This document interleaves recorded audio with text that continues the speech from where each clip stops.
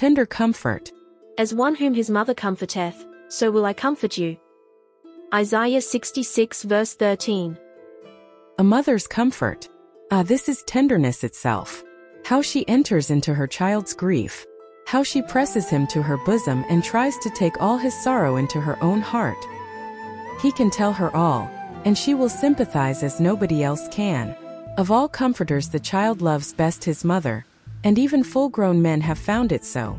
Does Jehovah condescend to act the mother's part? This is goodness indeed.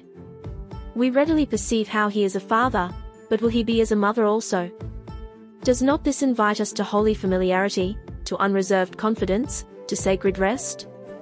When God himself becomes the comforter, no anguish can long abide. Let us tell out our trouble, even though sobs and sighs should become our readiest utterance. He will not despise us for our tears, our mother did not. He will consider our weakness as she did, and he will put away our faults, only in a surer, safer way than our mother could do. We will not try to bear our grief alone, that would be unkind to one so gentle and so kind. Let us begin the day with our loving God, and wherefore should we not finish it in the same company, since mothers weary not of their children?